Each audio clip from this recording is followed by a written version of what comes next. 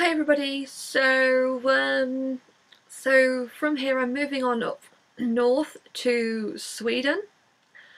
And um, so yeah, um, following uh, Melodifestivalen uh, which ended a couple of weeks ago uh, Lundvik um, took home the trophy, well I say took home the trophy, um, he won Melodifestivalen and is now representing Sweden which is kind of odd because he's also technically representing the UK as well uh, as a songwriter.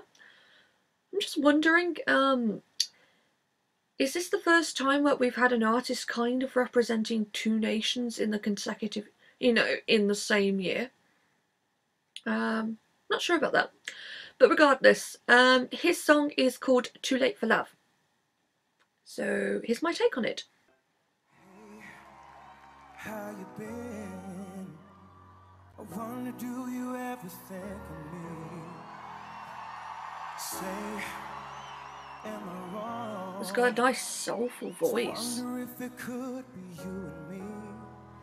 Is it too late for love? Mm. Is it too late for love? I wanna know. Is it too late for love? I can take no more. It? I could be the sun that lights your dark.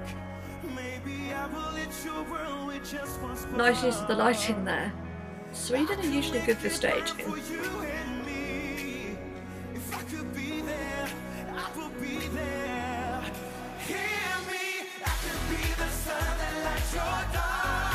Nice use of the backing vocalists as well. It's like a nice um, sort of gospel type entry. And no, it's not an Austria 2018.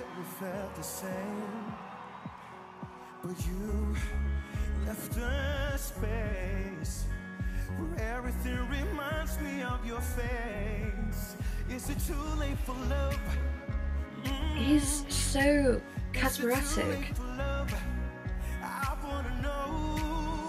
Like he performs with just such ease.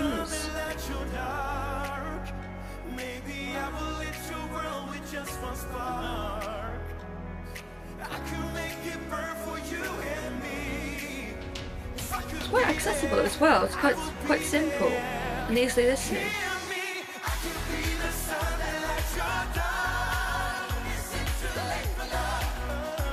I do love this, that it's got very strong backing vocalists as well, and the right amount as well.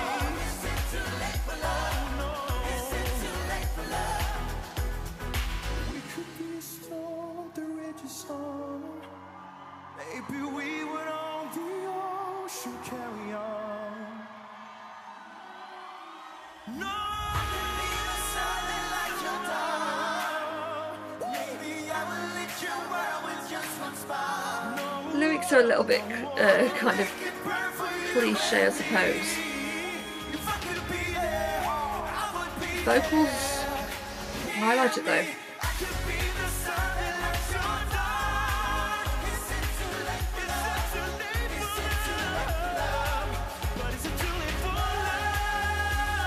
The backing vocalists and Johan connect so well.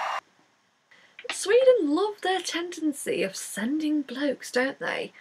Um, I think the one thing that everyone knows is the fact that Sweden haven't sent a woman since 2014. Um, but regardless, um, I think Sweden are starting to break the the mould now of the one-trick pony um, type formula. Um, I say starting to, it's only quite slight. Um, I know, controversial opinion.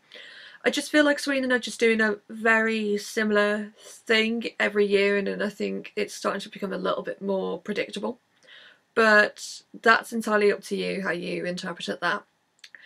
Um, so yeah, they've gone a little bit different. Um, it's still a kind of popish type song. Um, but at the same time, it's more sort of gospel style. Um, you've definitely got the gospel backing singers. Um, he's, you know, he, um, blends so well with the backing singers that it sounds so powerful when it comes across in that chorus. Um, he's a great performer. He's uh, very charismatic. He um, or is it uh, charismatic? It's very charismatic. I, I, I am rubbish when it comes to saying that word. Um, um, but yeah, he comes across as a really great performer. Um, he knows what he's doing. He very performs with ease. Um, vocally, he's quite good as well. Um, the only downside to it is the lyrics. Um, it's kind of like a bit. Mm, haven't we seen this before? It's a little bit. Oh, I don't want to say it's really dated, but it's kind of average, song-wise. Um, it's effective, but it's very average. And Sweden have a tendency of sending very, very average songs. Um, is this the what? Is this better than last year? Um, I don't know. I, I, I just feel like Dance You Off was a lot more easy flowing than it than this is, but I just I just don't know. I couldn't compare the two. But so when I do a 2018 versus a 2019 thing, I'm gonna really struggle with that one. Uh, so I'm gonna score this. Um, vocally, very very strong singer, very powerful. Um, can can carry that song very easily, um, and a very capable singer. So um, I'd give a ten for the vocals. Uh, the song, however, um, it's a bit of a slippery slope for this one. I think it's very average. It's effective, so it does have a good, uh, you know, it does have a good spin on that. But I think it's incredibly average.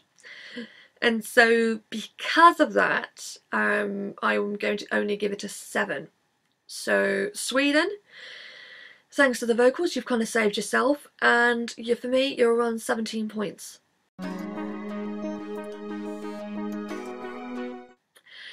So, uh, so other than that, um, take care and I'll see you soon. Oh, and um, reminds uh, reminded me, quick uh, poll in the disc in the uh, comments vote. okay, bye.